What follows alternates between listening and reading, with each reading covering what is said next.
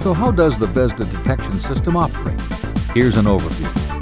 VESDA is an active system, continuously drawing air through multiple sampling holes along a network of pipes. These pipes transport the air to a central, highly sensitive detector. Prior to entering the chamber, the air sample passes by a flow sensor through the aspirator and a dual-stage filter. During the first stage of filtration, dust and dirt are removed from the air. A portion of the sampled air goes through the second ultrafine filtration stage and introduces clean air that forms a protective barrier, keeping the optical components within the chamber free from contamination.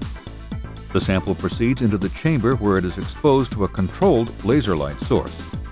Even extremely low levels of smoke particles present in the air sample will cause the laser light to scatter. This light scatter is instantly detected by a unique configuration of light receiver circuitry optimized for a wide range of smoke types.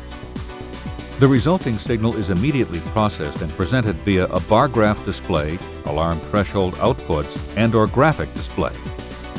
The VESDA system has four smoke alarm threshold levels, Alert, Action, Fire 1, and Fire 2. The sensitivity for each alarm level can be automatically programmed or manually set to a suitable level to fit the condition of the site and to minimize unwanted nuisance alarms.